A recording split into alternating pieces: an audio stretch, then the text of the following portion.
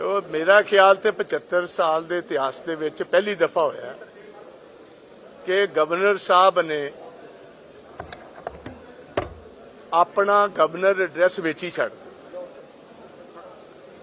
ਅਸੀਂ ਮਸ਼ਕੂਰ ਹਾਂ ਗਵਰਨਰ ਸਾਹਿਬ ਦਾ ਕਿਉਂਕਿ ਅਸੀਂ ਬੇਨਤੀ ਵੀ ਕੀਤੀ ਸੀ ਕਿ ਗਵਰਨਰ ਸਾਹਿਬ ਤੁਸੀਂ ਕਨਸਟੀਟਿਊਸ਼ਨਲ ਹੈਡ ਹੋ।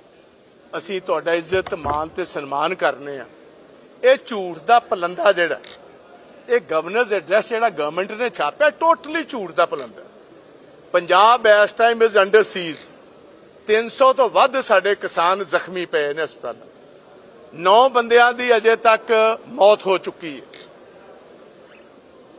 ਇਹ ਭਗਵੰਤ ਮਾਨ ਦੀ ਸਾਡੇ ਕੋ ਖੁਦ ਕੋ ਇੱਕ ਕਲਿੱਪ ਪਈ ਹੈ। ਜਦੋਂ ਇਹ ਮੈਂਬਰ ਆਫ ਪਾਰਲੀਮੈਂਟ ਸੀ ਇਹ ਗੱਲ ਕਹਿੰਦੇ, ਜਦੋਂ ਬਰਗਾੜੀ ਤੇ ਬਹਿਬਲ ਕਲਾਂ ਦੀਆਂ ਕਿਲਿੰਗਸ ਹੋਈਆਂ ਨੇ ਇਹਨੇ ਖੁਦ ਪਾਰਲੀਮੈਂਟ ਚ ਕਿਹਾ ਸੀ ਕਿ ਕੋਈ ਇਹੋ ਜਿਹੀ F R F I R ਵੀ ਹੋ ਸਕਦੀ ਹੈ ਜਿਹਦੇ ਵਿੱਚ ਅਨਨੋਨ ਲੋਕ ਹੋਣ। ਕਦੀ ਪੁਲਿਸ ਵੀ ਅਨਨੋਨ ਹੋ ਸਕਦੀ ਹੈ ਮੈਂ ਹੀ ਕਾਊਂਟਰ ਸਵਾਲ ਅੱਜ ਭਗਵੰਤ ਮਾਨ ਜੀ ਨੂੰ ਕਰਨਾ। ਭਗਵੰਤ ਮਾਨ ਜੀ, ਜਦੋਂ ਪੰਜਾਬ ਦੇ ਲੋਕਾਂ ਨੇ ਤੁਹਾਨੂੰ ਮੁੱਖ ਮੰਤਰੀ ਬਣਾਤਾ ਹੈ, ਪੰਜਾਬ ਦੀ ਟੈਰੀਟਰੀ ਨੂੰ ਤੁਸੀਂ ਪ੍ਰੋਟੈਕਟ ਨਹੀਂ ਕਰ ਸਕਦੇ। It is high time to resign ਅੱਜ। ਨੈਤਿਕ ਤੌਰ ਤੇ ਭਗਵੰਤ ਮਾਨ ਨੂੰ ਮੁੱਖ ਮੰਤਰੀ ਰਹਿਣ ਦਾ ਕੋਈ ਅਧਿਕਾਰ ਹੈ ਨਹੀਂ ਗਵਰਨਰ ਸਾਹਿਬ ਨੇ ਖੁਦ ਸਾਡੀ ਗੱਲ تسلیم ਕਰ ਲਈ ਜਦੋਂ ਉਹਨਾਂ ਨੂੰ ਇਹ ਗੱਲ ਕਹੀ ਗਈ ਮੇਰੇ ਵੱਲੋਂ ਕਿ ਝੂਠ ਦਾ ਪਲੰਦਾ ਨਾ ਪੜੋ ਤੁਸੀਂ ਕਨਸਟੀਟਿਊਸ਼ਨਲ ਹੈਡ ਹੋ ਤੇ ਉਸੇ ਟਾਈਮ ਉਹਨਾਂ ਨੇ ਉਹ ਪਲੰਦਾ ਹੀ ਉੱਥੇ ਰੱਖ ਇੱਕ ਤਰੀਕਾ ਹੁੰਦਾ ਸਿਆਣੇ ਆਦਮੀ ਦਾ ਇੱਕ ਇਸ਼ਾਰਾ ਦੇਣ ਦਾ ਕਿ ਮੈਂ ਐਗਰੀ ਕਰਨਾ ਤੁਹਾਡੀ ਇਸ ਗੱਲ ਤੇ। ਇਹ ਪਹਿਲੀ ਦਫਾ ਦੇਸ਼ ਦੀ ਆਜ਼ਾਦੀ ਚ ਹੋਇਆ ਕਿਸੇ ਵੀ ਅਸੈਂਬਲੀ ਦੇ ਵਿੱਚ ਕਿ ਗਵਰਨਰ ਨੇ ਆਪਣਾ ਐਡਰੈਸ ਪੜਨ ਤੋਂ ਹੀ ਇਨਕਾਰ ਕਰ ਦਿੱਤਾ। ਇਹ ਅੱਜ ਮੋਰਲ ਡਿਫੀਟ ਹੈ ਭਗਵੰਤ ਮਾਨ ਦੀ। ਜੇ ਥੋੜੀ ਮੋਟੀ ਵੀ ਇਹ ਆਪਣੀ ਨੈਤਿਕਤਾ ਸਮਝਦਾ ਹੋਏ ਹੀ ਮਸਟ ਰਿਜ਼ਾਈਨ ਟੁਡੇ ਇਹਦਾ ਕਾਰਨ ਇਹ ਹੈ ਕਿ he has he is not the CM of Punjab anymore. He is basically acting as an agent of the central government.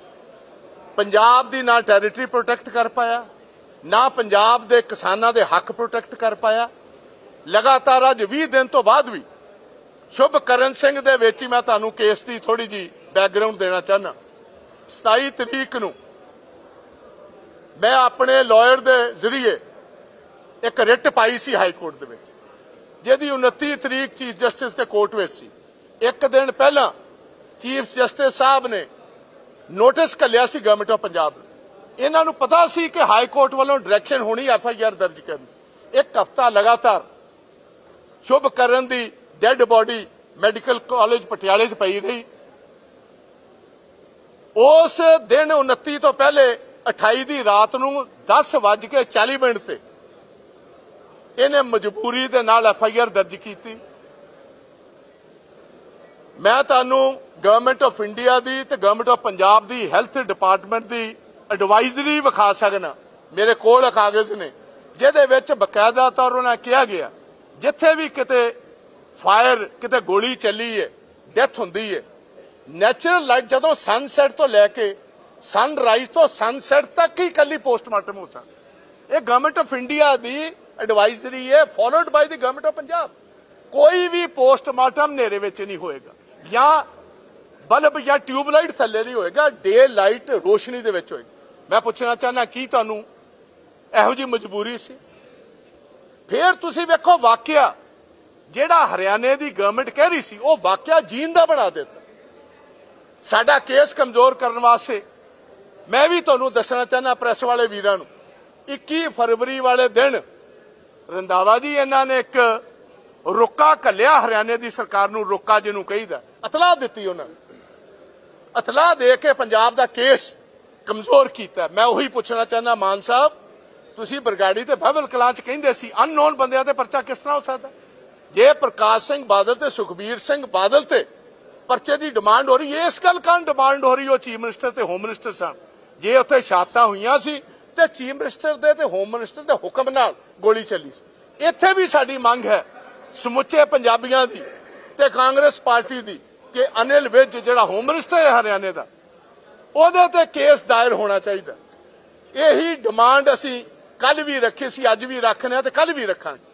ਕਿਸਾਨਾਂ ਦੀਆਂ ਡਿਮਾਂਡਸ ਨੂੰ ਕੰਪਲੀਟਲੀ ਪ੍ਰੋਟੈਕਟ ਨਹੀਂ ਕਰ ਪਾਇਆ। ਮੈਂ ਅੱਜ ਪੁੱਛਣਾ ਚਾਹਾਂਗਾ, ਮਾਨ ਸਾਹਿਬ, ਤੁਸੀਂ ਵਾਅਦਾ ਕੀਤਾ ਸੀ ਜੇ ਸੈਂਟਰ ਐਮਐਸਪੀ ਨਹੀਂ ਦੇਗੀ ਤੇ ਮੇਰੀ ਸਰਕਾਰ ਐਮਐਸਪੀ ਦੇਗੀ। ਸਾਡੀ ਛੋਟੀ ਭੈਣ, ਇਹਨਾਂ ਦੀ ਮੰਤਰੀ ਉਹ ਚੁਟਕੀਆਂ ਮਾਰ-ਮਾਰ ਕਹਿੰਦੀ ਸੀ ਕਿ ਸਾਨੂੰ ਮੌਕਾ ਦਿਓ ਕੈਪਟਨ ਸਾਹਿਬ। ਤੁਸੀਂ ਅਸਤੀਫਾ ਦਿਓ 5 ਮਿੰਟਾਂ ਦੇ ਵਿੱਚ ਹੀ ਅਸੀਂ ਟਮਾਟਰਾਂ ਤੇ, ਗੰਢਿਆਂ ਤੇ, ਕੇਲਿਆਂ ਤੇ ਹਰ ਚੀਜ਼ ਤੇ ਐਮਐਸਪੀ ਦਵਾਂਗੇ। ਮੈਂ ਉਹਨਾਂ ਚੁਟਕੀ ਵਾਲਿਆਂ ਨੂੰ ਵੀ ਪੁੱਛਣਾ ਚਾਹੁੰਦਾ। ਅੱਜ ਮੌਕਾ ਆਇਆ, ਪੰਜਾਬ ਦੇ ਲੋਕ ਤੁਹਾਡੇ ਕੋਲ ਡਿਮਾਂਡ ਕਰਦੇ ਨੇ। ਕਿਸਾਨੀ ਨੂੰ ਤੁਸੀਂ ਪ੍ਰੋਟੈਕਟ ਨਹੀਂ ਕਰ ਪਾਏ। ਸਾਡੀ ਵੀ ਸਰਕਾਰ ਸੀ, ਇੱਕ ਬੰਦੇ ਤੇ ਲਾਠੀ ਤੱਕ ਨਹੀਂ ਸੀ ਵੱਜੀ, ਦਿੱਲੀ ਤੱਕ। ਇਹੀ ਕਿਸਾਨ ਸੇਫ ਪੈਸੇਜ ਦਵਾ ਕੇ ਹਰਿਆਣੇ ਦੇ ਜ਼ਰੀਏ ਦਿੱਲੀ ਤੱਕ ਪਹੁੰਚਾਏ ਗਏ ਸੀ। ਸਾਰੀ ਦੁਨੀਆ ਭਰ ਚ ਮੈਂ ਤੁਹਾਨੂੰ ਦੱਸਣਾ ਚਾਹਨਾ ਰਾਜਮੀਤ ਜੀ, ਅੱਜ ਸਾਰੇ ਯੂਰਪ ਦੇ ਵਿੱਚ ਜਿੰਨੇ ਸਟੇਟ ਕੈਪੀਟਲਸ ਨੇ, ਉਹਨਾਂ ਦੇ ਵਿੱਚ ਕਿਸਾਨਾਂ ਵੱਲੋਂ ਵੱਡੇ ਪੈਮਾਨੇ ਤੇ ਪ੍ਰਦਰਸ਼ਨ ਹੋ ਰਹੇ ਨੇ। ਮੋਦੀ ਸਾਹਿਬ ਨੂੰ ਮੈਂ ਇਹ ਗੱਲ ਚੰਦ ਦਿਨ ਪਹਿਲੇ ਦਿੱਲੀ 'ਚ ਵੀ ਏਆਈਸੀਸੀ 'ਚੋਂ ਪੁੱਛੀ ਸੀ। ਮੋਦੀ ਸਾਹਿਬ 26 ਜਨਵਰੀ ਵਾਲੇ ਦਿਨ ਤੁਸੀਂ ਫ੍ਰੈਂਚ ਪ੍ਰੈਜ਼ੀਡੈਂਟ ਮੈਕਰੋਨ ਨੂੰ ਸੱਦਿਆ ਸੀ। ਕੋਈ ਚੀਜ਼ ਮੈਕਰੋਨ ਸਾਹਿਬ ਤੋਂ ਹੀ ਸਿੱਖ ਲੈਣੀ ਸੀ। ਜਿਹੜੇ ਪੈਰਿਸ ਦੇ ਵਿੱਚ ਟਰੈਕਟਰਾਂ ਲੈ ਕੇ ਫਾਰਮਰਸ ਨੇ ਵੱਡੇ ਪ੍ਰਦਰਸ਼ਨ ਕੀਤੇ, ਉੱਥੇ ਮੈਕਰੋਨ ਖੁਦ ਗਏ ਫਾਰਮਰਸ ਦੇ ਕੋਲ ਤੇ ਉਹਨਾਂ ਨੂੰ ਇਹ ਗੱਲ ਕਹੀ, ਤੁਹਾਡੀਆਂ ਜੈਨੂਇਨ ਡਿਮਾਂਡਸ ਅਸੀਂ ਮੀਟ ਕਰਾਂਗੇ। ਬ੍ਰਸਲਸ ਦੇ ਵਿੱਚ, ਮੈਡਰਿਡ ਦੇ ਵਿੱਚ, ਅੱਜ ਵੱਡੇ ਪੈਮਾਨੇ ਤੇ ਉੱਥੇ ਪ੍ਰਦਰਸ਼ਨ ਚੱਲ ਰਹੇ ਨੇ। ਕਿਸੇ ਸਰਕਾਰ ਨੇ ਕਿਸੇ ਨੂੰ ਰੋਕਿਆ ਨਹੀਂ। ਜੋ ਹਰਿਆਣਾ ਸਰਕਾਰ ਨੇ ਤੌਰ ਤਰੀਕਾ ਫੜਿਆ, ਕੇਲੇ ਲਾਏ ਨੇ, ਸੀਮੈਂਟਡ ਸੜਕਾਂ ਬਣਾ ਦਿੱਤੀਆਂ ਨੇ ਅਸੀਂ ਪੁੱਛਣਾ ਚਾਹਨਾ ਕਿ ਨੈਤਿਕ ਹੱਕ ਪੰਜਾਬ ਦੀ ਕਿਸਾਨੀ ਦਾ ਹੈ ਨਹੀਂ? ਆਪਣੇ ਕੈਪੀਟਲ ਜਾਣਾ ਹਿੰਦੁਸਤਾਨ ਦੀ ਸਰਕਾਰ ਨਾਲ ਗੱਲ ਕਰਨ ਇਹ ਪਤਾ ਸੀ ਸੈਂਟਰ ਦੀ ਸਰਕਾਰ ਨੂੰ। ਮੇਰਾ ਇੱਕ ਗੱਲ ਇੱਕ ਚੰਗੀ ਤਰ੍ਹਾਂ ਸਾਡਾ ਦੋਸ਼ ਹੈ ਕਿ ਸੈਂਟਰ ਨੂੰ ਪਤਾ ਸੀ। 3 ਸਾਲ ਪਹਿਲੇ ਅਸੀਂ ਜਦੋਂ ਇਹ ਵਾਪਸ ਲਏ ਨੇ ਕਾਲੇ ਕਾਨੂੰਨ, ਉਹਦੇ ਨਾਲ ਵਾਅਦਾ ਕੀਤਾ ਸੀ ਕਿ ਐਮਐਸਪੀ ਨੂੰ ਲੀਗਲਾਈਜ਼ ਅਸੀਂ ਕਰਾਂਗੇ। ਜਿਹੜਾ ਯੂਪੀ ਦੇ ਵਿੱਚ ਲਖੀਮਪੁਰ ਖੇਰੀ ਦੇ ਵਿੱਚ ਇਹਨਾਂ ਦੇ ਇੱਕ ਮੰਤਰੀ ਦੇ ਮੁੰਡੇ ਨੇ ਪੰਜ ਛੇ ਕਿਸਾਨ ਰੌਂਗ ਦਿੱਤੇ ਸੀ ਜੀਪ ਥੱਲੇ। ਉਹਨਾਂ ਨੂੰ ਸਜ਼ਾਵਾਂ ਅਸੀਂ ਦਵਾਵਾਂਗੇ। ਹਿੰਦੁਸਤਾਨ ਦੀ ਕਿਸਾਨੀ ਦੀ ਸਾਰੀ ਫਸਲਾਂ ਅਸੀਂ ਪੂਰੀ ਇੰਸ਼ੋਰੈਂਸ ਦੇ ਕੇ ਚੁੱਕਾਂਗੇ। ਕਿਸਾਨਾਂ ਦੀਆਂ 700 ਤੋਂ ਵੱਧ ਸ਼ਹਾਦਤਾਂ ਹੋਈਆਂ। ਉਹਨਾਂ ਨੂੰ ਅਸੀਂ ਕੰਪਨਸੇਟ ਕਰਾਂਗੇ। ਬਣੇ ਹੋਏ ਰੇਲਵੇ ਟਰੈਕਸ ਤੇ, ਨੈਸ਼ਨਲ ਹਾਈਵੇਜ਼ ਤੇ ਕੇਸਸ ਅਸੀਂ ਵਾਪਸ ਕਰਾਂਗੇ। ਉਹਨਾਂ ਨੂੰ ਪਤਾ ਸੀ ਇਹ ਤਿਆਰੀ ਕਰਕੇ ਆਣਗੇ। ਬਟ ਕਿਸਾਨ ਯੂਨੀਅਨਸ ਦੇ ਵਿੱਚ ਵੀ ਜੇ ਪਾੜ ਪਾਇਆ, ਭਗਵੰਤ ਮਾਨ ਨੇ ਤੇ ਦੇ ਇੰਟੈਲੀਜੈਂਸ ਦੇ ਅਫਸਰਾਂ ਨੇ ਪਾੜ ਪਾਇਆ। ਉਹਨਾਂ ਨੇ ਕਮਜ਼ੋਰ ਕਰਨ ਦੀ ਕੋਸ਼ਿਸ਼ ਕੀਤੀ ਕਿਸਾਨੀ ਦੀ ਆਵਾਜ਼ ਨੂੰ ਇਸ ਕਿਸਾਨੀ ਦੀ ਮੂਵਮੈਂਟ ਨੂੰ ਸੋ ਅਸੀਂ ਉਹਨਾਂ ਚਿਰ ਕਾਂਗਰਸ ਇੱਥੇ ਟਿਕਣ ਨਹੀਂ ਦੇਗੀ ਭਗਵੰਤ ਮਾਨ ਨੂੰ ਇਹ ਟਾਈਮ ਆ ਗਿਆ ਭਗਵੰਤ ਮਾਨ ਜੀ ਤੁਹਾਡਾ ਚਿਹਰਾ ਲੋਕਾਂ ਦੇ ਸਾਹਮਣੇ ਨੰਗਾ ਹੋ ਚੁੱਕਿਆ you are not representing the interest of Punjab on the country you are addressing the interest of the central government and the Haryana government ਤੋਂ ਇਸ ਗੱਲ ਕਾਰਨ ਅੱਜ ਜਿਹੜਾ ਸਾਡਾ ਪ੍ਰਦਰਸ਼ਨ ਹੈ, ਇਹ ਬਕਾਇਦਾ ਤੌਰ ਕਿਸਾਨਾਂ ਨੂੰ ਯਕੀਨ ਦਿਵਾਉਣ ਵਾਸਤੇ ਹੈ ਕਿ ਕਾਂਗਰਸ ਜਿਹੜੀ ਹੈ, ਤੁਹਾਡੇ ਹਰ ਇੰਟਰਸਟ ਨੂੰ ਪ੍ਰੋਟੈਕਟ ਕਰੇਗੀ। ਜਿਹੜੇ ਤੁਹਾਡੇ ਨਾਲ ਹੋਈਆਂ ਜ਼ਿਆਤੀਆਂ, ਅਸੀਂ ਉਹਨਾਂ ਚਿਰ ਨਹੀਂ ਆਰਾਮ ਨਾਲ ਬੈਠਾਂਗੇ, ਜਿੰਨਾ ਚਿਰ ਸਾਰੇ ਦੇ ਕੇਸ ਰਜਿਸਟਰ ਨਹੀਂ ਹੁੰਦੇ 300 ਤੋਂ ਵੱਧ ਨੂੰ। ਦੁੰਡਾਲੀ ਦੇ ਸ਼ਰਿਆਂ ਨਾਲ 307 ਦੇ ਕੇਸਸ ਬਣਦੇ ਨੇ, ਉਹ ਫੱਟੜ ਪਏ ਨੇ।